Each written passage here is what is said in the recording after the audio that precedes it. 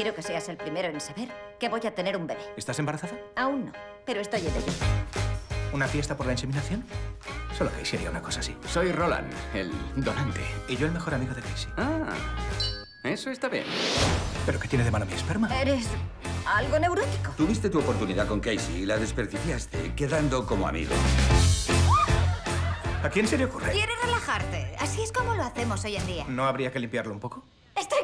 Contigo. Debbie, ¡Es no te broma! pases. Wally, no te soporto cuando bebes. ¡Ya! No sabes lo que haces.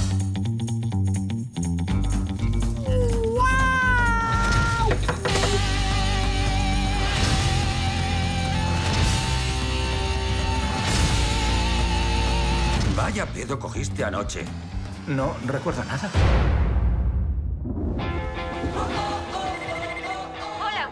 ¿Sabes una cosa? Volvemos a vivir en Nueva York. Cielo, este es el tío Wally. Hola. Hola, Sebastián. Creo que sufre un trastorno ciclotímico. Vale, ¿qué te dije de no mirar las páginas médicas en internet?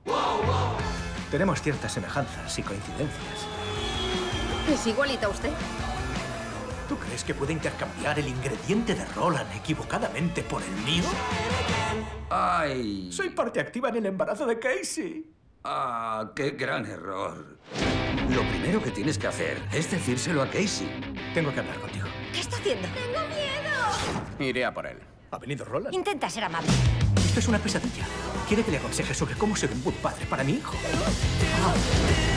En mi opinión, ese tío es un error. ¿Quieres dejar de hacerte Wally en una situación como esta? Espera, ¿crees que estoy equivocado? Sí, así es. Vamos a estar juntos durante muchísimo tiempo. ¿Por qué, tío Wally? Pues porque, eh, no sé, yo eh, Oh, Dios. Es la luz de mi vida, mi alma gemela. creo que siento algo por ella. ¿En serio?